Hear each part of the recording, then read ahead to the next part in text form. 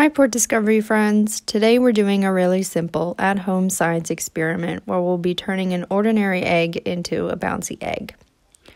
All you'll need for this experiment is an egg and white vinegar. I did two and added green food coloring to one just for fun. Gently place the egg into the glass and pour enough white vinegar until the egg is completely submerged.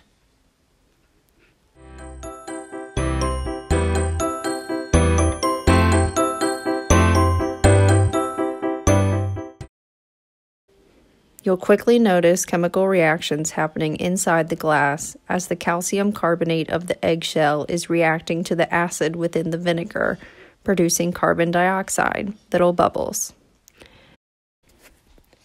Now, you'll let your egg sit for at least 24 hours. Anywhere between 24 to 48 hours is a good time frame to let your egg sit in the vinegar.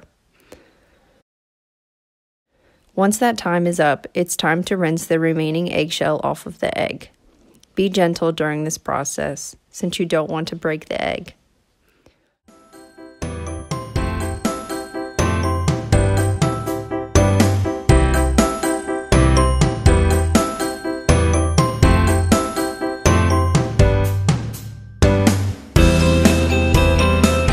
You'll likely notice that the egg is larger than before because as it sits in the vinegar, some of the vinegar is getting absorbed in the egg through its semi permeable membrane. Once you've managed to get most of the eggshell off, try the experiment for yourself.